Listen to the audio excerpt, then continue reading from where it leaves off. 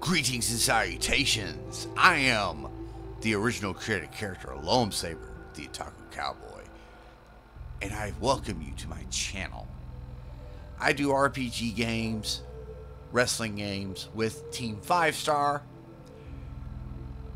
and maybe at some point other games as well. But for right now, it's an RPG slash wrestling channel.